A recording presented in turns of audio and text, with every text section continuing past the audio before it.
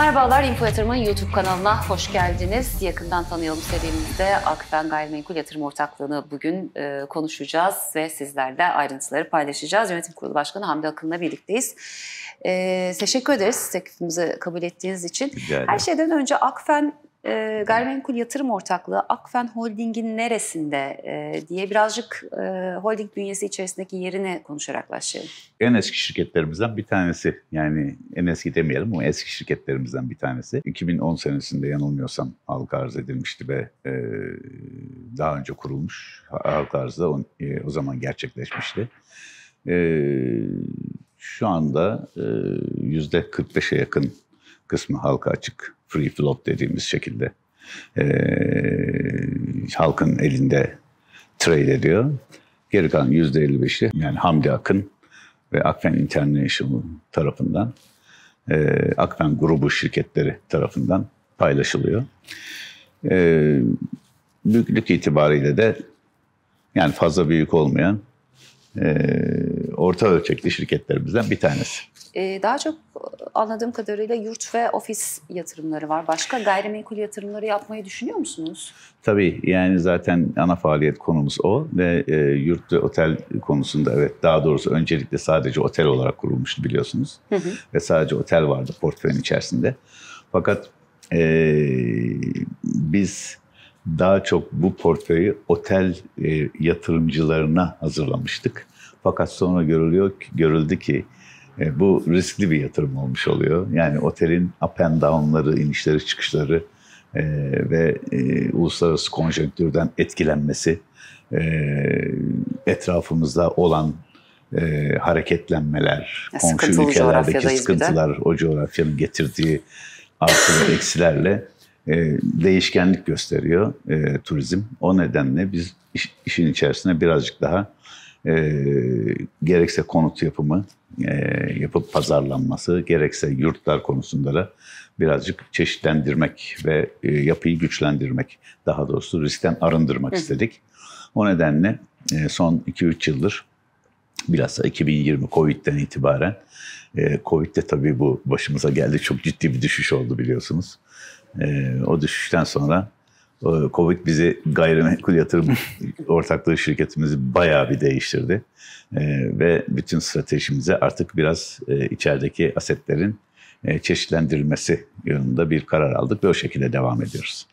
E, oteller deyince Rusya otelleri portföyde ciddi bir yer elde ediyor, ciddi bir yer kaplıyor, onu görüyoruz. E son dönemde de özellikle ciddi bir Rusya-Ukrayna savaşı hikayesi içerisindeyiz. Şu zamana kadarki etkileri bundan sonra öngörebildiğiniz e, bir durum var mı? Savaşın gidişatını nasıl etkiliyor? Bundan sonra da neler bekliyorsunuz? Bu portföye nasıl yansır? Doğru. Şimdi e, tabii beklenmedik bir şey Covid arkasından e, bizim Rusya yatırımlarımız ki portföyümüzün aşağı yukarı %15'ini e, teşkil ediyor gelirlerimizin. Ve önemli tabii dört tane otelimiz var orada. Ama e, şunu gördük ki e, gelirlerimizde e, ciddi bir düşüş olmadı orada. Yani ortalama iyi diyarlarda işte yani e, ortalama e, oda gelirlerinde yüzde beşlik bir düşüş olmasına karşılık e, bizim oradaki e, borcumuz e, rubleye olduğu için rublenin değer kaybetmesiyle birlikte bir hayli avantajlı duruma geçti gayrimenkul yatırım ortaklığı. Orada aşağı yukarı yüzde yirmiye yakın bir e, borcumuzda düşüş oldu. E, yani fiyatlarda hani gelirler yüzde beş ama borçlu yüzde bir şey olunca otomatik olarak kendiliğinden yüzde on beşlik bir gelir artışı sağlanmış oldu. Dolayısıyla e, Rusya operasyonlarına şu anda mutsuz değiliz. Gayet de iyi gidiyor ve olabileceğinde en kötüsü oldu. İşte bir buçuk seneyi buldu. Hala da şu anda doluluk olsun, işte ADR'lar olsun en alt seviyesine geldi diyelim. Hı. Orada seyrediyor ve bu bizim için şu anda yeterli bir seviye. E, bunun altına düşeceğini öngörmüyoruz ve bundan sonra da daha iyileşeceğini öngörüyoruz. E, çünkü yani artık insanlar belli bir süreden sonra bu e, savaş dediğimiz hadiseye sınır çatışması gözüyle bakıp artık e, kanıksıyorlar. Olağanlaşıyor ve normalleşmeye dönüyor. Önemli olan bir kritik eşik var. O kritik eşiğin aşılması. O aşıldıktan sonra hayat normale dönüyor. Ee, yani buna, Covid'de de öyle oldu biliyorsunuz. Doğru bir yerden sonra normalleşti. Bir de zaten sanıyorum Kıbrıs hamlesi geldi. Kuzey Kıbrıs Türk Cumhuriyeti'nde Merit Park eklendi. Portföy'e. Evet o, oradaki çünkü e, Merit Park bizim eski otellerimizden bir tanesi. 2007'de e, devreye girmişti. Daha doğrusu ilk e, Merkür Otel olarak biz e, devam ettiriyorduk orayı. Sonra e, Merit grubuna kiralayınca e, Merit Park adını aldı. E, ve 10 senedir onlar da kiradaydı. E, tabii otelin eski olması dolayısıyla yenilemesi geldi. Yenileme masraflarının tarafımıza yapılması gerekiyordu. E, ilave bir nakit çıkışı demekti bu ve oldukça da önemli. Yani 20-30 milyon dolar para harcamamız gerekiyordu şirketin içine. E, biz birazcık da onu göz önünde bulundurarak e, ve kira bedeline de baktığımız zaman işte 15 çarpan yakın bir çarpanla e, satmayı uygun gördük. Çünkü e, toplamda işte 49 yıllık süresinin e, 20 yılı hemen hemen gitmişti. E, 29-30 yıllık bir süresi kalmıştı e, uzatılmasına. E, biliyorsunuz orada da arsalar e, Kıbrıs hükümetine ait. O bakımdan e, oradan bir exit yapmayı uygun gördük. İyi bir satış olduğunu düşünüyorum her iki taraf için de. Hayırlısı olsun. E, alan tarafta e, gerekli yatırımlarını yapıp bundan sonra kendi mülklerini ve kendi grupları içerisinde biliyorsunuz gazino işletmecisi olarak Merit oldukça önemli e, Kuzey Kıbrıs'ta. Kuzey Kıbrıs'ın da kuzeyinde Girne hı hı. tarafında. Onun için e, onlara da hayırlı olsun diyelim. Bize de hayırlı olsun. Bize de önemli bir nakit girişi olacak. Borçlarımızı düşürmüş olacağız. Hayırlısı olsun. Borcumuzu e, e, belli bir miktarda düşüreceğiz gelen parayla. Ve oradan gelen parayla da işte yeni yatırımlar yapacağız şüphesiz. Başka bir ülke var mı diye merak ettim. Ben hemen oraya bir gireyim. Başka bir ülkede yatırım gibi bir e, süreç Şimdi, var mı? Tabii e, biliyorsunuz orada bir sınırlama e, da söz konusu. E, sanıyorum e, belli bir limiti aşamıyorsunuz yurt dışında e, yatırım için. Ama olabilir. E, olması için de yalnız Neresi yurt dışında faizlerin de yükselmesiyle birlikte o iş de zorlaşmaya başladı. Çünkü yani artık yüzde 8, 9, 10 gibi bir faizle e, yatırım yapmak, yani dolar bazında, euro bazında ya da pound bazında konuşuyorum tabii ki. E, o şekilde yaptığınız zaman geriye dönüşleri bir hayli zor oluyor. Borçlanmadan e, ya da çok az borçlanarak e, öz kaynakla yatırımları yapmak zorundasınız. Onun için de öz kaynaklarınızın güçlü olması lazım.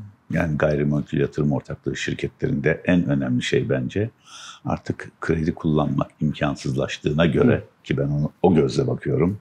Gerekse Türkiye'de gerekse yurt dışında hakikaten kredi kullanmak e, şirketin geleceğini tehlikeye atmak olmuş oluyor. Onun için bu kredi kullanma oranını minimuma düşürmemiz lazım. Eskiden yüzde seksene kadar borçlanabiliyorduk. Yüzde yirmi öz kaynak koyuyorduk. Aslında enflasyonist Şimdi bu oranlar biraz değişti. kredi kullanmak daha makul bir şey değil mi? Eğer faizler düşükse. Faiz Ama faizler çok yüksekse o olmuyor tabii ki. Peki yani bu, bu TL enflasyon dediğiniz şey e, çünkü bakın dolar bazında yüzde onlara yakın faiz var yurt dışında şu anda. Hı hı. Ama enflasyon orada yüzde beş, altı o civarda. Yani faizler enflasyonun hemen hemen iki katı. Türkiye için sordum. Yok yok yurt dışında. Türkiye içerisinde de o olmaya çalışılıyor. Yani şu anda işte yüzde kırklara, ellilere çıktı faizler. Hı hı. Enflasyon da onun altına düşürülmeye çalışılıyor. Dolayısıyla faizler enflasyonun üzerinde kalacak. Yani biliyorsunuz son 200 senedir öyle değildi. Hı hı. E, sonunda tekrar yeniden bir politika değişikliği oldu ve bu politika değişikliğiyle faizler yükseldi. Enflasyon da aşağıya çekilmeye çalışılıyor ve önümüzdeki sene içerisinde de 3 yıllık programa göre e, enflasyonla faiz önce eşitleniyor Mart ayından sonra ve ondan sonra da enflasyon tek haneliğe düşürmeye çalışılıp faizler onun üzerinde cereyan etmesi şey oluyor. Onun için uzun vadede borçlanmak biraz tehlikeli. Uzun vadede bir daha bu programı yapmamız evet, gerekecek yani bence. Onun gözden geçireceğiz. Buna, evet, buna iyi bakmak lazım. Sözleşmeleriniz daha çok gelir artışı e, tarafında. Dolayısıyla faaliyet gösterdiğiniz ülkelerdeki turizm e, sezonlarını nasıl değerlendiriyorsunuz? Önümüzdeki süreçte neler olmasını bekliyorsunuz? Öngörünüz, projeksiyonunuzda? Şimdi bizim e, asetlerimizde e, dediğimiz gibi çeşitlendirmeye gittiğimiz için birazcık rahatladık bu konuda. Hı hı. Bir kere e, yaptığımız projelerden ciddi bir gelir akışı olacak. E, artı e, işte yurtlar ya da işte turizm dışındaki otellerden yani şehir otellerimiz var bizim biliyorsunuz. Şehir otelleri biraz turizmden biraz bağımsız hareket edebiliyor. Çünkü iş turizmi sonuçta e, yani, yani İstanbul'da hani turizm olmasa da bizim otellerimiz biraz 3 yıldız 4 yıldız mertebesinde olduğu için çok şükür şimdiye kadar dolulukta bir sorun yaşamadık. E, onun için e, hatta şöyle de diyebilirim bazen e, tip ekonomik e, yavaşlamalar bize yarıyor. Çünkü ortalama bir otel olduğumuz için e, yukarıdan inenler bizim otellerimizi dolduruyorlar. Onun için e, o bakımdan e, safe site'dayız, e, güvenli bir bölgedeyiz. E, öyle bir endişemiz yok yani şu anda. Peki bu sözleşmelerin belli bir kısmında da özellikle kur etkisi var. Yabancı para cinsinden sözleşmeler var. Bununla ilgili bir hedging mekanizmamız, öngörüler... Tabii tabii. tabii. Zaten mesela geçen sene hedging mekanizmasında ciddi bir gelir yani 9-10 milyon dolara yakın bir gelir elde ettik. Ee, hatta bu senenin de e, son iki ayda gene e, ufak da olsa bir gelirimiz oldu. Bu mekanizmaları tabii ki çalıştırıyoruz. Ama şu var, e, bizim otellerimizde daha çok kur riski varmış gibi görünüyorsa da biz e, Akkor grubuna kiraladığımız için Akkor grubu genelde otelleri hep Euro'ya göre ayarlıyor. Yani benzin fiyatı gibi, mazot fiyatı gibi böyle e, günlük olmasa da aylık ayarlamalar şeklinde götürüyor. Dolayısıyla biz de gelirden pay aldığımız için ee, bir çok büyük bir sıkıntımız olmuyor. Şu yurt işine bir dönelim. Ee, iki yurt var sanıyorum. Evet. Biri e, Isparta, diğeri Kütahya. Evet. Şimdi e, ailemden uzakta okumuş bir üniversite hayatını e, yurtta bir kısmını en azından geçirmiş biri olarak daha çok ilgimi çekiyor. Dinlemek isterim onu. E, ben mesela Eskişehir'de okudum. E, Kütahya'da çok yakın ve çok fazla öğrencinin olduğu bir yerde. Farklı şehirler düşünüyor musunuz? Ya da Şimdi orada işte biraz evvel bahsettiğimiz biraz evvel bahsettiğimiz e, kur riski aslında işte orada e, devreye giriyor. E, çünkü biliyorsunuz orada kira yani biz e, kredi yurtlar kurumuna kiralıyoruz hı hı. yaptığımız yurtları ve onlardan TL olarak alıyoruz. Ve onlar da enflasyona endeksli bir kira artışı uyguluyorlar. E, orada e, işte hükümetin uyguladığı programlara göre bazen yıllara göre değişen artış ve azalışlar olabiliyor. Onu işte belli bir kurdan yani şu kadar dolar e, gelir diyemiyoruz. Orada bir takım farklılıklar oluyor. Mesela 2003'ün gelirleri, 2023'ün gelirleriyle 2024'ün gelirleri arasında dolar bazında %5-10'luk da olsa bir takım değişiklikler olabilir. Artı ya da eksi anlamında. E, Şimdiye kadar güzel manage etti, e, güzel yönetti bunu e, hükümet. E, çünkü bu bir ihtiyaç. Hı hı. Yani yüzde yüz dolu çünkü bu yurtlar. Hı hı. Yani kredi yurtlar kullanılıyor. Aksine ciddi bir barınma sorunu var. Yani evet. Giderek de artıyor. Hı hı. E, Isparta, bizim Isparta'da yapmış olduğumuz şehir hastanesinin yanında değerlendirmek zorunda olduğumuz bir arsa vardı. O bakımdan orayı seçtik. Kütahya'da bir tesadüf doğrusu orada bir fırsat doğmuştu. Hazır yapılı bir kaba inşaatı alıp tamamlayıp bir yurta dönüştürmüştük üniversitenin içinde. Daha gelecek yurtlarımız da var planlarımızda. Ee, galiba Ankara'da e, bir yurt düşünüyoruz. Hı hı. Ve e, başka da e, yurt konusu dediğim gibi e, birazcık istikrarlı bir ortam istiyor. Yönetmesi Onun de zor için aslında. biraz mesafeli yanaşıyoruz. E, böyle çok kurların arttığı, düştüğü, enflasyonun yüksek seyrettiği zamanlarda e, çok değişkenlik göstereceğini düşündüğümüz için biraz mesafeli duruyoruz ama şunu şey yapmamak lazım. Doluluğu ve sustainability, sürekliliği olan bir iş olduğu açısından, açısından bence çok değerli. Yani her ne kadar inişleri ve çıkışları da olsa sürekli bir gelir olduğu için e, yıllara göre tercih ettiğimiz bir yatırım türü yani. Hem de önemli bir e, sosyal sorunun çözülmesi konusunda yardımcı aynı olması zamanda, açısından aynı zamanda böyle vicdan rahatlatır Tabii yatırımcı, yatırımcı ona bakıyorum bakmıyorum bilmiyorum ama yani o işin o kısmına o gelen tabii e, gelire, EBITDA'ya ya da işe dağıtılacak kâra bakıyor ama e, işin bu kısmı bizim için de önemli gerçekten. Peki şimdi Yurt bir başka konusunda hassasız yani. proje ile devam edelim yüksek hızlı tren biyadük e, 2024 yılında sanıyorum e, bitmiş olacak, hizmet açılmış bizim, olacak. E, Söğütlü Çeşme'de yapmış olduğumuz Aha. bir proje. Kadıköy'de. bu e, gerçekten ilk defa gayrimenkul yatırım ortaklığı şirketimizin içerisinde bu tür bir aset e, sokmuş olacağız. E, burası Avrupa'nın en büyük futbol olacak. Yiyecek içecek merkezi olacak. Yani Avrupa'nın çeşitli yerlerinde marketler, markadolar biraz İspanya'da e, ya da işte İngiltere'de, Londra'da ya da işte Almanya'da e, birçok e, bu tip yerler açıldı. Ama e, burası e, Kadıköy içinde entertainment center bir eğlence merkezinde barındıran bir yiyecek içecek merkezi e, şeklinde dizayn edildi. Asla bir AVM değil, bir alışveriş merkezi şeklinde dizayn edilmedi. Ee, başlangıçta projesi öyle geliştirilmiş ama biz devraldıktan sonra onları değiştirdik hepsini.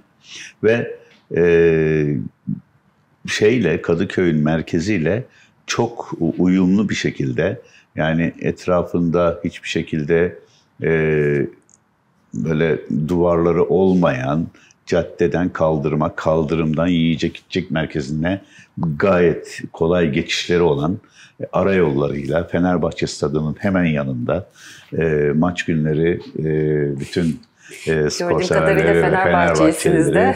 evet, ben de hasta bir Fenerbahçeli olarak e, orada e, ciddi bir, e, bir meeting olacak. point diyelim, buluşma yeri şeklinde olacak. E, ve e, orada e, çok fazla e, yiyecek içecekle ilgili. E, hem şarküteri tarzında e, hem de oturup yemek yiyebileceğiniz e, restoranlarıyla ya da street foodlarıyla yani e, Belki hani festivaller kokoreçi, yapılabilir, sokak lezzetleri diye. Kumpir, kumpircisine kadar Kadıköy hemen her tam şeyi bulacağınız bir e, ama tabii kaliteli bir e, şekilde sunulacağı Balık bir ekmek, alan kokoreç, olacak. midye. Siz bir hayat düşünemiyorum. evet, işte, evet onları en iyi şekilde, en temiz ve en güzel şekilde nasıl verebiliriz diye sürekli ona çalışıyoruz. Ee, bizim için de yeni bir deneyim oluyor. Ee, yani birazcık bu sektörün içerisinde işte bildiğiniz gibi bizim Karaköy'deki Nova Otel'in üzerinde Mürver restoranımız var. Hı hı. Gerçekten o da e, çok iyi bir restoran oldu ve önemli bir gelir kalemi otelin içerisinde.